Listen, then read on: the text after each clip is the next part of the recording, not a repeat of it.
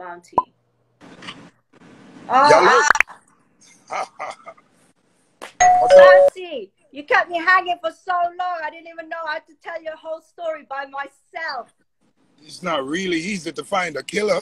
I know, man. I, do you, you think I just found that out for sure? Listen, we got you. Respect all day, every day. Thank bless you. up, bless up, bless up. I know you got me. I know, man. And I yeah, really... the vibes team from ever since. Exactly. Big up vibes, big up boom shots. Everybody. Boom shot. From vibes to boom shot, we still popping shots. yeah.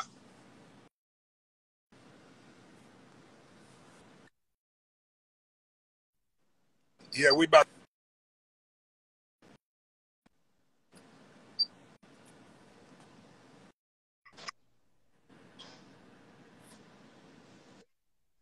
Yeah, I'm hearing you now. Something we, we, we chipped out a while ago, but we back now. Yeah, yeah, yeah. We back. We back. Don't worry, man. We, this whole thing with Beenie, Beenie set us up. You know, we had to do the move around, turn it, off, turn it off.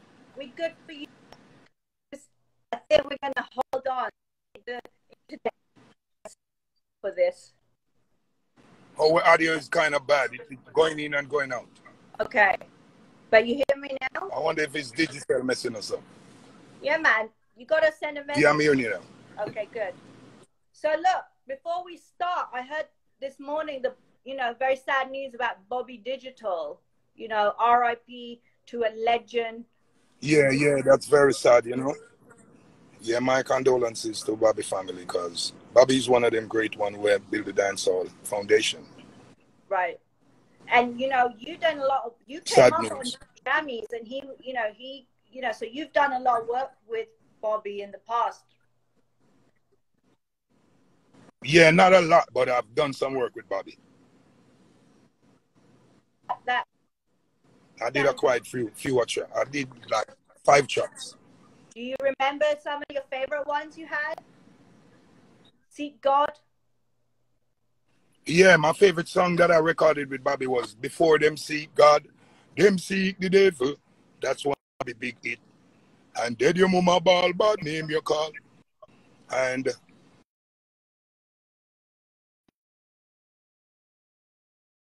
and keep on no way.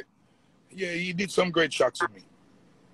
Yeah, man, a, a real loss in the in the foundation right now, you know. But you know, what, just before we talk about foundation, I also want to ask, how is everybody keeping up your end with the coronavirus? Everything good? People keeping safe? Well, we're trying our best to do that, but yeah, we still got to come out and we still got to work and we still got to do stuff. But yeah, we taking all the precautions and we just praying that this thing pass, pass. because mankind does obviously this is God. Because I'm wondering if it's a pandemic or a pandemic.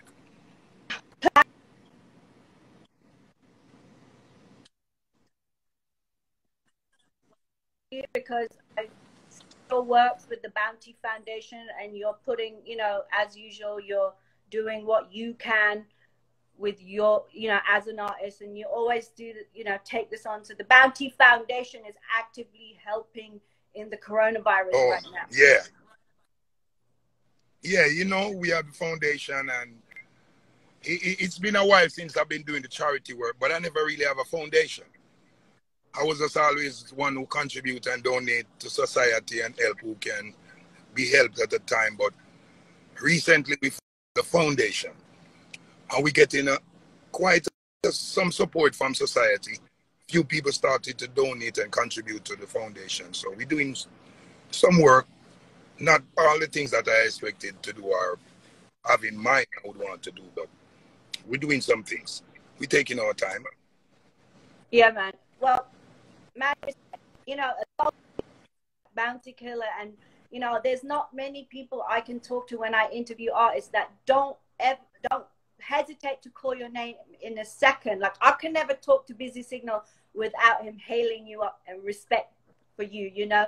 And you brought so many people in the game. You know, Busy just every time I speak to him, you know, not just Busy, Elephant Man. Yeah, know, Busy is one who really always paying extra homage from ever since. He's just a type of person like that. Yo, everybody talks about Busy and his loyalty and being there for Killer during the good and the bad. And from ever since, it's the same vibes. With Busy, nothing hasn't changed. Most people that are helped when they become who they become, they slightly have different personality and different vibes and temperament. But with Busy, it remains the same with us. And give thanks to that. Some remains.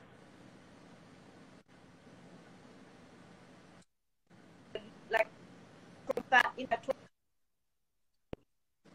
creating a foundation, you are a foundation. When I saw this Verzuz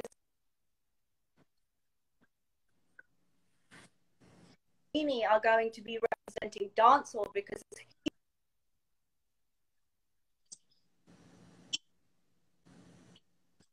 hard neighborhoods in Jamaica. You've grown up, you've seen everything.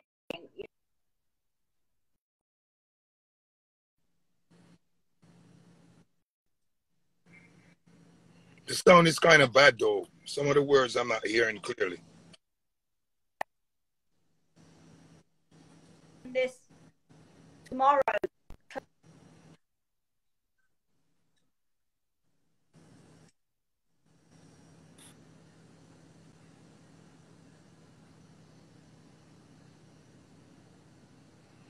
The sound kept going in and out. I'm not hearing all the questions. Okay. What about now? Good? The reception is back.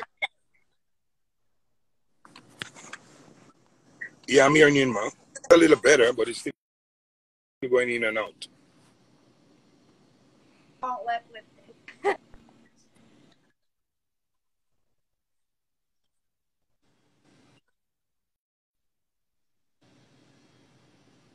this audio is messing us up, man. Yeah. Because I heard I already asked something about the Verzuz tomorrow, but I don't hear clearly what you asked.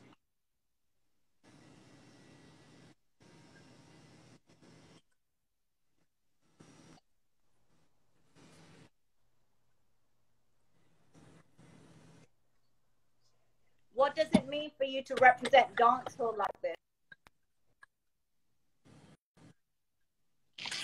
Well, representing dancehall meant everything to me. That's what made me.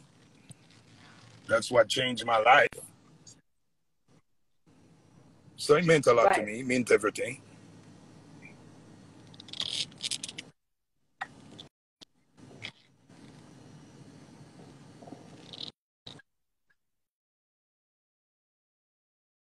It's always unexpected,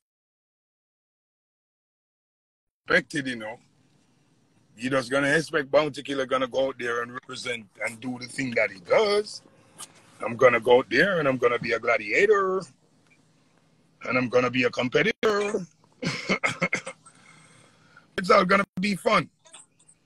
It's just enjoying ourselves and representing the culture, as you say, and just giving it our all.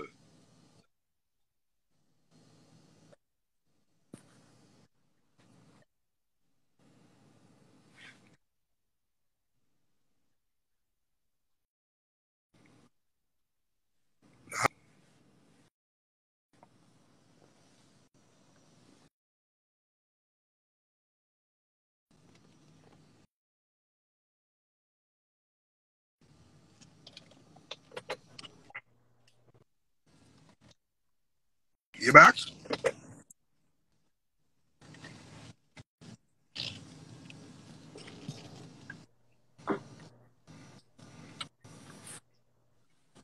What were you saying now? Have you been watching the Verzuz up until now? Ah, I, I watched like two of them. Okay. I wasn't keeping them. Okay. Because I'm not good on that live stuff. I'm I'm never on live. I'm not a live guy. Okay. But we got you for live today, and hopefully tomorrow we're gonna see you for this battle. Yeah, special occasion. I pop up on the live on special occasions, but I'm not a person always on live. That's what I stay alive today. I'm always alive, so I don't have to be alive. That's what makes you special, Bounty, because when you turn up for something, it's a real moment, you know. And Thanks. I mean, some people are saying this is going to be the biggest Verzuz battle yet. I hope so. I hope so. Well, you know, you said that you're not going to prepare, and Be- Beenie said he's not preparing. But you, you I, I don't prepare. I can't prepare for a battle. I have to just go to a battle. I'm prepared as a killer, but I'm not prepared to do whatever I don't know. When you go into a battle, it's unexpected until the opponent does something. That's when you know exactly what to do. right. I'm a gladiator. I'm a killer, so I know what to do. I don't have to prepare. I was made for that. Now, a lot of people don't know, but I remembered when I was putting your essentials list together, you actually start, started in the industry as bounty hunter. yeah, that's that's the way I started as the bounty hunter, and then I transformed to the bounty killer. But the thing that's been always consistent with your music, you're always doing things, you know, for people. You're the voice of people. You know, you are the poor people's governor. You're the Yeah. star general. It, it means it means so much for you to lift up the youth and to have a voice in whatever whether you're bounty hunter or bounty killer you know like your message is still like voice of the people Yeah, because I'm a member of the voiceless community. I'm one of those ghetto boys who never had a voice or couldn't be heard. So when I got the opportunity on this platform, I make sure the people's plight be heard. So that's why I become the poor people's governor because I'm from the poor society. I'm one of those poor boys. and you created the alliance group from that as the thing to bring ghetto youths to Yeah, that was my first effort I've given back by bringing the Scare Dem crew. That was my crew, my friends who was there with me at the studio when I was working on my craft. So I felt like I owe it to my friends to get them on when I get on. And after I get on now and bring my friends, other people start to approach me for the similar opportunity, and I found it interesting to help others. As I get to youth, each one teach one to reach one. When you open the door, you leave it and don't close it. So that's how I came up, and I continue to do it. And then society shows me a lot of appreciation for that. And it's a good thing to know that you can do something out of the sincerity, and you get a lot of respect and a lot of support and appreciation. I mean, the crazy thing is, you know, you your first breakout song was Copper Shot, but then like we've gone on to hear you doing international collabs with people like Busta, with you know, you're on No Doubts record. Hey, hey, baby, you know that's all pop culture. Like Yeah, it's it's like and even Swizz Beatz too. Remember, I did Guilty with Swizz Beatz. Yeah, the Fugees, the Busta Rhyme, the Mobb Deep. Yeah, all you know, Cause I'm ever since I have a good following in New York City. So New York City is what really draws me into that underground hip hop collaboration stuff. hmm Because my first hit song, Copper Shot, was released in New York before Right. Jamaica. And that's where it took off first. Dub for Dub did bigger Jamaica. But Copper Shot first breakout in New York City, in Brooklyn. So that's why I have this strong fan base in Brooklyn as well. Right. So when that started to build a wave in New York, Johnny Wonder decided to start put my songs on the hip hop beats by just remixing them. The Shook One Part Two remix, the, the cellular phone, the Craig Mack, not another word, new flavor in the year remix, and he he had me doing a song with Special Ed, that legend, legendary rapper from Brooklyn. Right. So that's how I get on the hip hop tip. It's really Johnny Wonder that puts me on. Man, so tomorrow everyone's looking forward to tomorrow. Now it's 20 song, tune for tune. A little bit of song that them have to make a play more time. 20 song. Being Yeah, here like- play 10 song and me a play 10 and me a play 20 and being here play 20. Lord God. Now I was gonna say, how can you pick 20? Your catalog is so deep. I I don't even know. I'm gonna just make choices when I go, but that's hard to sit here and decide from now. Now this That's why Beenie say he's unprepared because it's hard to prepare 20 songs when you have 200. right. Exactly. But you say, you know, you are equipped well for this battle, and I've seen you battle over and over again. So, so that's it. I'm not prepared, but I'm equipped. Put it right. like that.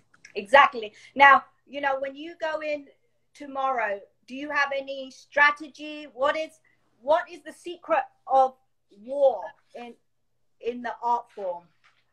Well, war is just a spontaneous thing. The secret of war is spontaneous thing. You get the spontaneous part of it is just doing something that wasn't planned. That's the best part of war. Okay. Because what you plan don't must happen. Okay. So I have all type of war strategy. I don't know what strategy Beenie gonna use, but any strategy is being used, I'll have to counteract it instantaneously. so that's how it goes. As I said, I'm equipped. So whatever they throw my way, I should know to deal with it. Now, over the years, your battles with your com- competition with Beenie has become legendary, right? Like they have, and yeah. I, you know, and in some at some times they seem getting very serious, but you both seem to keep it within music always. Well, it, it, it, it gets intense, but it never really gets serious as like, you know, right. these stupid people who do clash today. Because at the end of the day, it's really music why we clashing. So right. we cannot afford to clash and destroy the music. Because the purpose of clashing is the music. If me and Beenie not singing no music, we don't want no clash. Right. It's really music we clashing. And right. sometimes the music will lead to other behavior, but them behavior they're not important. It's a musical behavior that's important. Right. Because we marketing something. And we cannot afford to make marketing strategy destroy the product. Okay. So if we should act out of behavior or character, we know how to correct it in time before it destroy the product. So sometimes it gets intense and we realize that and we have to fix it quick. Because we know that at the end of the day is really musical battle we want. We want to show off our musical prowess. Me and Beenie no want to show who can knock fist more, rare, rare. So if knocking fist should come in the picture, we're gonna take it out. Because right. that's not our display. And respect for you and many people here on there, you know, respect for you to So we human beings so sometimes our anger and our ego get in the way and we might act out of character a bit, but we should have our head and our body and know that this is a game of music and it's business as well and it's our livelihood. So we're not supposed to make ego get in the way of our livelihood and our careers. And and you know, that's what Clash really is from the from day one. It's a musical battle. Who's got the best lyrics? Who's got the best dubs? Who's got the best sound? Yeah, me and Beenie had a musical problem. We want to show whose music is better and who can battle more.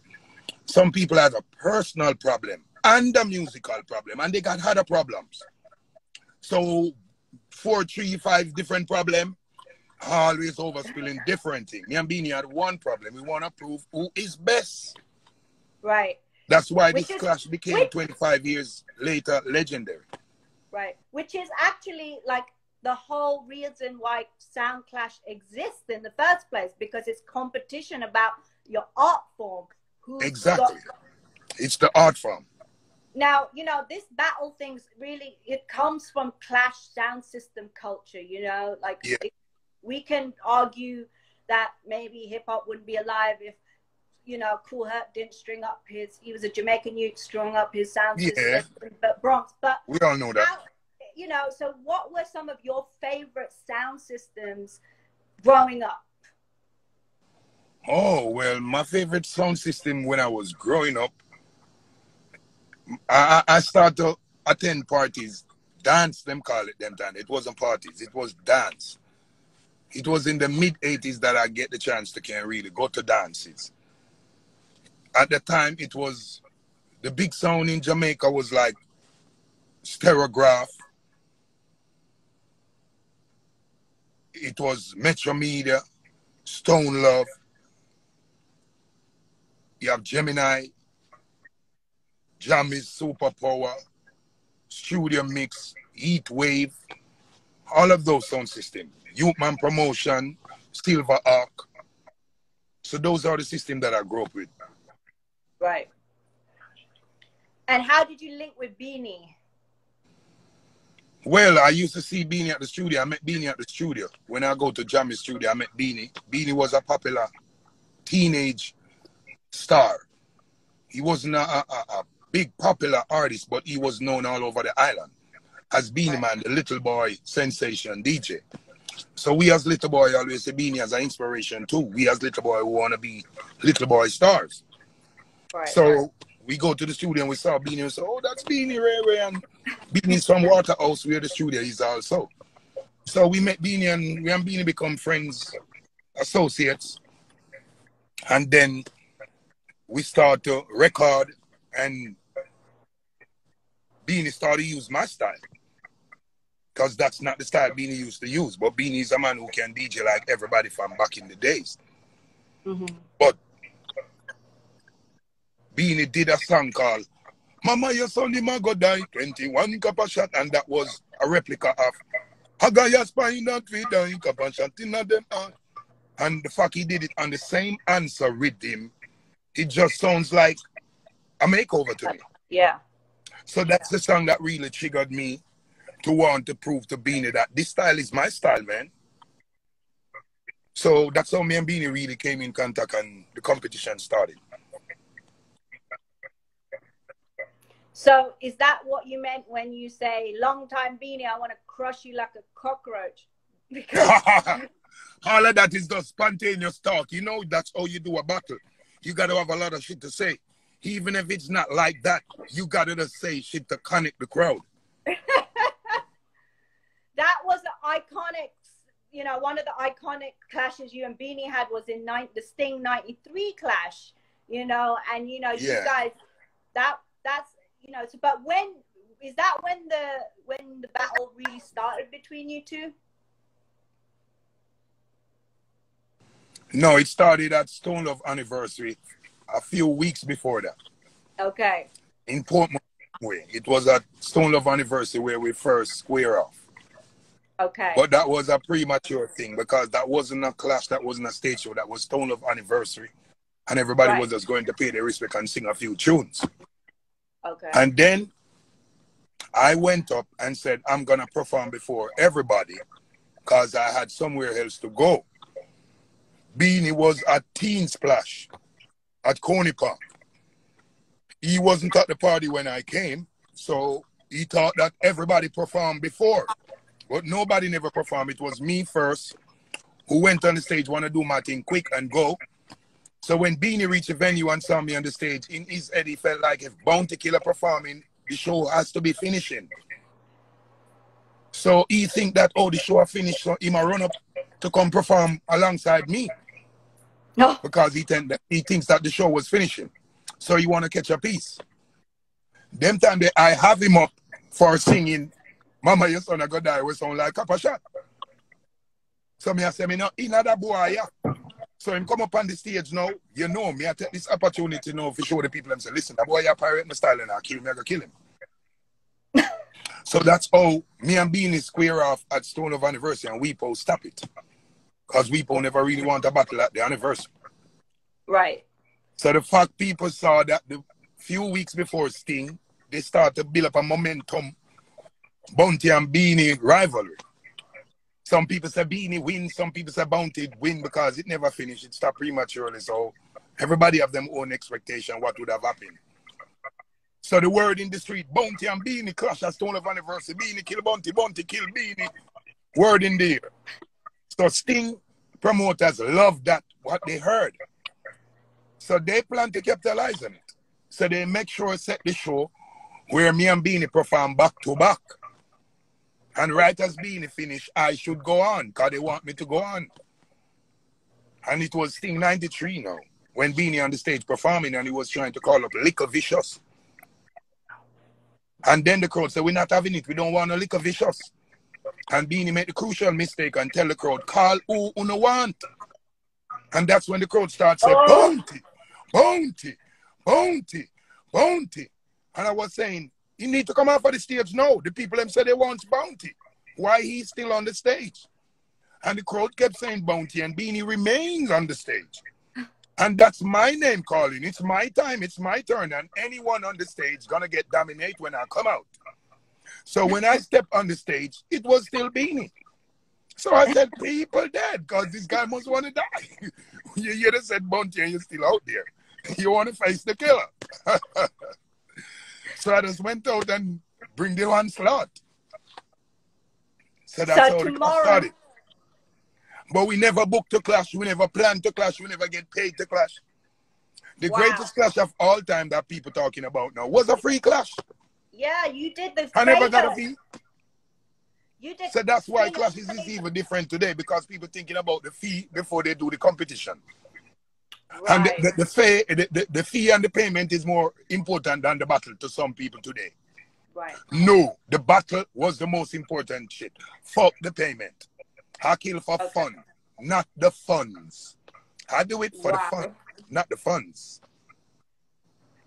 So tomorrow, look, we talked about your competition with Beenie, but you know, what do you respect about Beenie?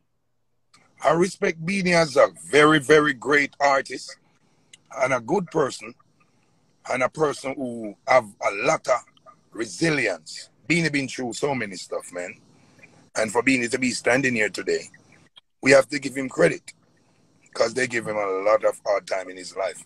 I've been through a lot too, but I think Beenie been through twice as I. Yeah, but right. Beenie is a great, consistent artist, and every artist from his era looked up to Beenie in some way, or being motivated by him, or influenced, or inspired, however. I have to give you respect because you know you're one of the people in the culture that stand up to say, "Let's give respect now while people are still here." Yeah, respect is to be given. He has to do that. What you want to Caesar, you got to give him what you want to Caesar, right. and that's how you get your credit to by giving other people's their credit. Right. So you don't make credit run short. Make credit keep go crediting. Yeah. I, I mean that's very big of you, Beenie, because you, Bounty, because you know it's like you said earlier, people change towards you and some people, you know, come up and you're friends with people yeah. one day and tomorrow you're not. And then people talk about haters in the game. And, but you always, but you seem to stick to what you believe and you say. And that's what Beenie said he respected about you also. Like, yeah, you got to be real to yourself. You got to have some core and that's me. I'm I'm just who I am, and I never try to adjust, and I don't want to be anything else. I'm proud of myself and I'm happy with myself. I'm not the best person in the world, but I'm a good one. And I never want to be the best person. The best person is God. I'm a human being. I can be anything human be. I'm a being. I can be. well, being next, the next person better than God is not a bad place to be. So respect, That's respect. why I'm a grown God. I'm next yeah, to God. and I, you know, respect for you every time. Before we let you go, um, do you have any words for Beenie tomorrow? Well, I just want to tell Beenie, come prepared, brother. Don't be scared. I see him dropping comments. Pull it, pull it. Yo, people. you know, it's gonna be fun with the musical guns. So I I see him dropping comments right here in this live with you. So he's hearing you right now. Yeah, most definitely. You know he's gonna be listening. Why not? sure. But he knows me. He knows. He know I'm gonna come out. He know me. I'm a warlord. I can't help it. But I just want to say big up to the Verzuz TV family. It's a good thing for both culture, right. the R&B, the hip hop, the neo soul, the reggae, the dancehall, all musical genre. It's a good thing especially in this quarantine time, right. where people has less activity outdoor. We have to be staying inside. So this is a big thing.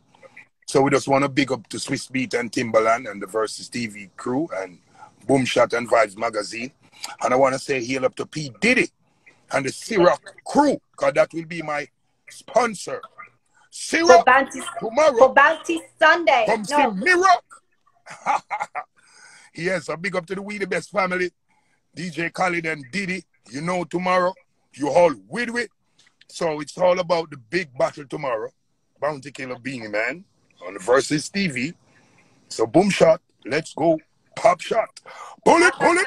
Kaboom. Yo. Respect every time, Bounty. Speak every time, Mama. Bless up yourself and big up Rob Kenner and the whole family at Boom Shot. Everyone, big up. Salute. All right, Yo, we're out. out. Well, you know where you heard it first.